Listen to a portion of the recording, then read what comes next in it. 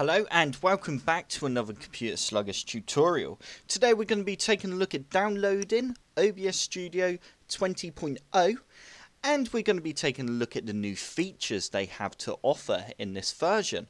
First you need to head on over to the link that's in the description below and you end up on their page that looks like this. You now need to select the Windows logo and click download installer.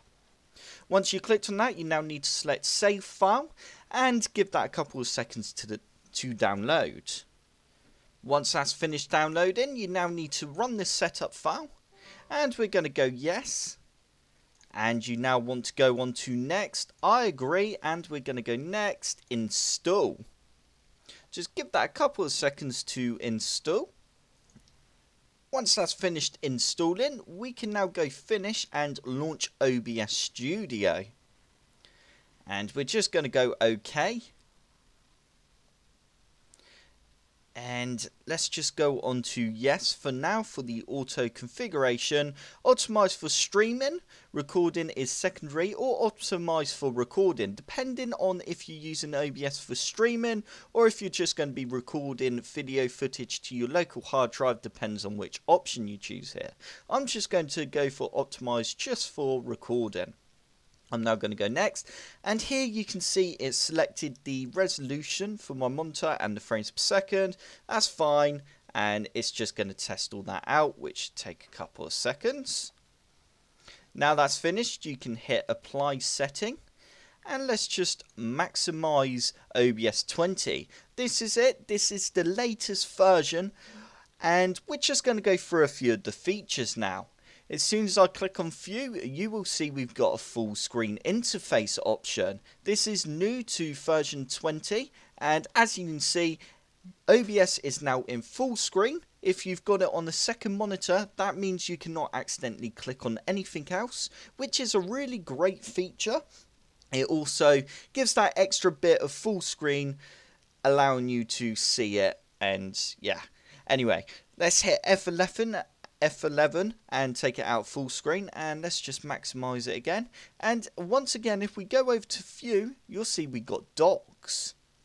And here we got a lock UI option. If we deselect lock UI and all this is new anyway in docks if I select for instance scenes as you can see down the bottom there, it's now disappeared, which means you don't have to have all this rubbish down the bottom if you don't want to. Anyway, let's put scenes back as that's like one of the most important parts of OBS.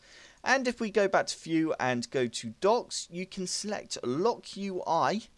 And what this does is it allows you to play around with all these docks down the bottom. You can literally just hold onto it. Um, if we just click here Oh, no, there, sorry. And it just pops out the scenes, as you can see, and I can move it around to wherever I want. I can also take it onto my desktop like that. I can have scenes over there. I can pop the mixer out and I can have the mixer down here. Or if I really want to, I could pop the mixer back in there and swap places with the sources. Which is great because that gives you that um, bit of freedom, allowing you to put the docks where you want as you might prefer a different sort of location from. Anyway, moving on to one of the next biggest parts of this update, which is if we go into tools, and not tools, sorry, go into file and go to settings.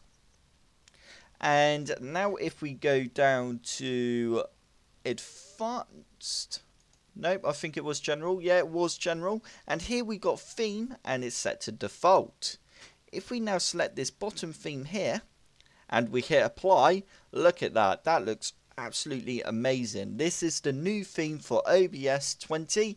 It gives the interface a nice a nice better look than the original white and black. It just I like it. It makes it look a lot nicer. If that's such a word anyway. But yeah, other than that, there's a few other little bits they've done to the new update, which I will put a link in the description below so you can see all the changes on your web browser. Um, I hope you enjoyed this video. If you did, hit the like button below and subscribe for more computer sluggish tutorials.